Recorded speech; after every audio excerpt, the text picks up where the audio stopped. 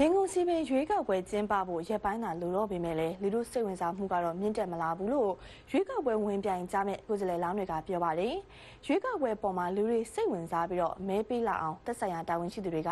စီပင်ရွေးကောက်ပွဲနဲ့ပတ်သက်တဲ့အသိပညာပေးမှုတွေကိုကြည်ကြဲပြည့်ပြည့်လှုပ်ဆောင်တဲ့တယ်လို့လည်းထောက်ပြကြပါတယ်။အပြည့်စုံကိုကိုကောင်းဆိုင်ဟင်းကတင်ဆက်ထားပါတယ်ရှင်။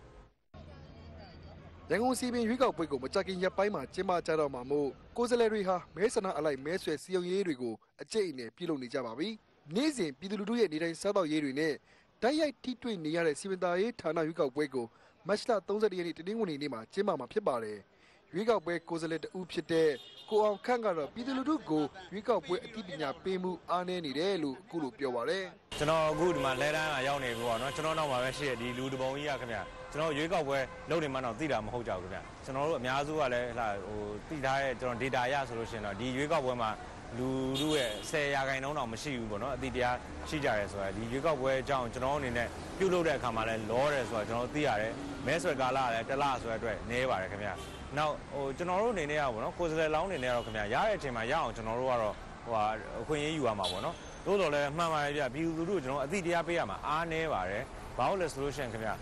ဒီလိုမျိုးရွေးကောက်ပွဲလုပ်တယ်ဆိုတာကျွန်တော်အနေနဲ့ထုံးစံရရလဲနှစ်ခါတစ်နှစ်ခါသုံးခါဒီလောက်ပဲရှိသေးတယ်ဆိုတော့ကြတော့လူထုအနေနဲ့မဲပေးရမယ့်တာဝန်မဲပေးရမယ့်အသိတရားမဲပေးရင်တော့မှစီပင်ရွေးကောက်ပွဲဆိုတာဘာအတွက်လဲဆိုအောင်ကျွန်တော်ချပြထားရတယ်နည်းသေးခင်ဗျစီမံရွေးကောက်ပွဲကော်မရှင်ဥက္ကဋ္ဌဦးအောင်ခိုင်ကတော့ပြည်သူလူထုကိုယ်တိုင်စိတ်ဝင်စားလာစေဖို့အတွက်ရွေးကောက်ပွဲဥပဒေပြင်ဆင်ရမှာဖြစ်တယ်လို့သုံးသပ်လိုက်ပါတယ်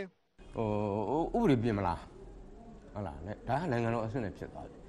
မဲမပေးမနေရဥပဒေပြင်မလား ဒါဆိုရင်တော့မဖြစ်မနေအကုန်လုံးမဲပြီးလာရလိမ့်မယ်နော်တခြားနိုင်ငံတွေလို့လေတိတ်ချက်ဟုတ်လားဒါက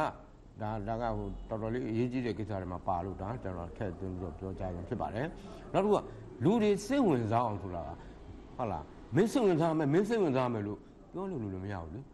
ဒါတော့ तू လုတ်ပိုင်ခွင့်ကို तू ကမဲပေးခြင်းလည်းပေးလို့ရတယ်မပေးခြင်းလည်းမပေးလို့မရဘူးဆိုတော့မပေးခြင်းလည်းမပေးခြင်းလည်းနေလို့ရတယ်ဆိုတော့ကဟုတ်လားဟို तू က ဟိုမစားရင်စားကွာမစားရင်နေကွာဆိုတဲ့သဘောမျိုးအဲ့တော့မစားခြင်းလည်းမစားဘူးပေါ့မတ်လ31ရက်နေ့ကျရင်ရန်ကုန်တိုင်းအတွင်းမြို့နယ်33မြို့နယ်မှာကျင်းပမဲ့ရွေးကောက်ပွဲတွေမှာရန်ကုန်မြို့တော်စီမံသားရေးကော်မတီဝင်6ဦးမြို့နယ်အသီးသီးကစီမံသားရေးကော်မတီတွေအတွက်တမြို့နယ်ကို3ဦးနှုန်းနဲ့စုစုပေါင်း69ဦးကိုသက်ဆိုင်ရာမြို့တော်သူမြို့တော်သားတွေကမဲပေးရွေးချယ်ကြမှာဖြစ်ပါတယ်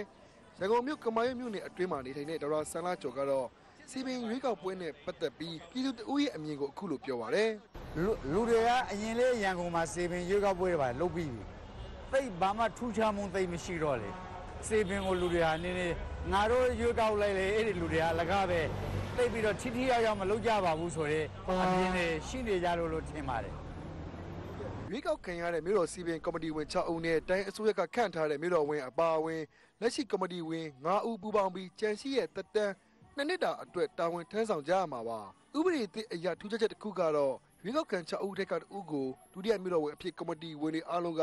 လှုပ်ဝက်မဲပေးရွေးချယ်ကြမှာဖြစ်ပါတယ်လာမယ့်ဧပြီလအတွင်းမှာစတင်အသက်ဝင်လာမယ့်စီပင်ကော်မတီဝင်အသစ်တွေအနေနဲ့နှစ်နှစ်တာကာလအတွင်းရန်ကုန်မြို့ကြီးပြောင်းလဲသွားအောင်ပြည်သူ့အတွက်စီပင်ဖြစ်လာအောင်ဘယ်လောက်ဆွဲဆောင်နိုင်ကြပါမလဲရန်ကုန်သူရန်ကုန်သားတွေအားလုံးကစောင့်ကြည့်အကဲဖြတ်နေကြမှာပဲဖြစ်ပါတယ်ခင်ဗျာ